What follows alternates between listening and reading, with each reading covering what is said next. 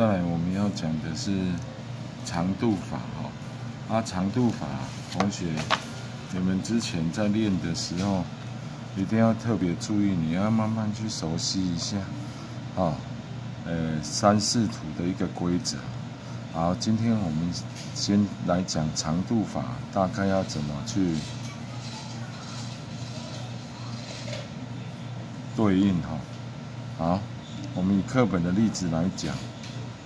老师基本上第一个啊，老师之前有讲过，互相都是有对应的，这一排跟这一排有关系，这一排跟这一排有关系，这一排跟这一排有关系，这里的高度跟这里的高度有关系，这里的高度跟这里的高度有关系，这里的宽度跟这里的宽度有关系，这里的宽度跟这里的宽度有关系，哈。所以我们现在来看，所以老师会用一二三四四个面来来举例哈。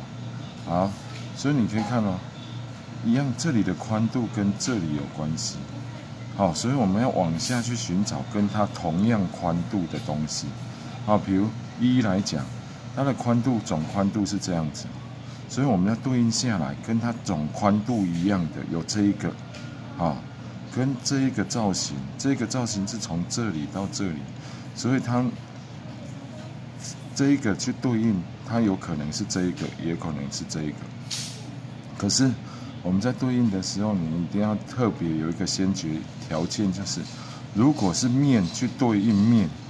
它的形状一定要一样。虽然这个是 L，可是这个是不一样的方向，所以这样这样子也不允许哈。还有。面去对应面，这边一定要有一条斜线，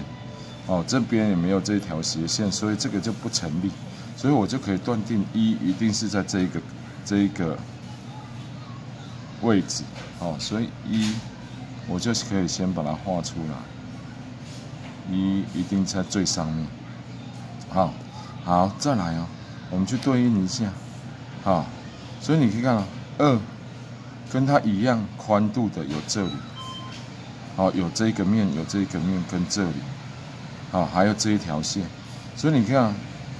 所以有四个选择，一二三四五五个选择，可是这一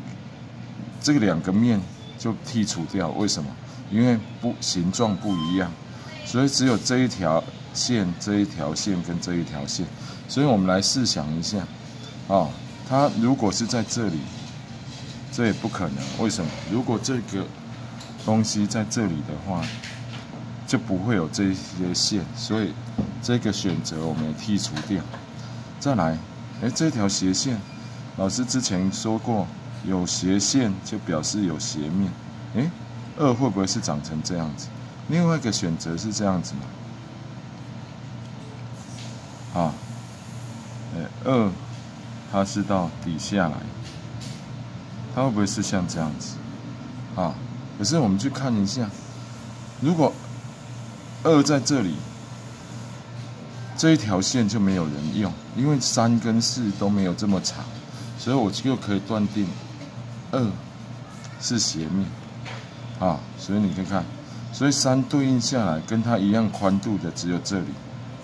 所以我就知道三一定是。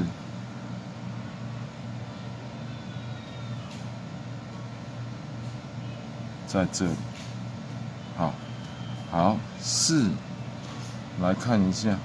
哦，这老师的题目这边有一点点错误哈，没有这一条线，所以四对应下来跟它一样宽度也只有这一条线，所以我就知道四是斜面，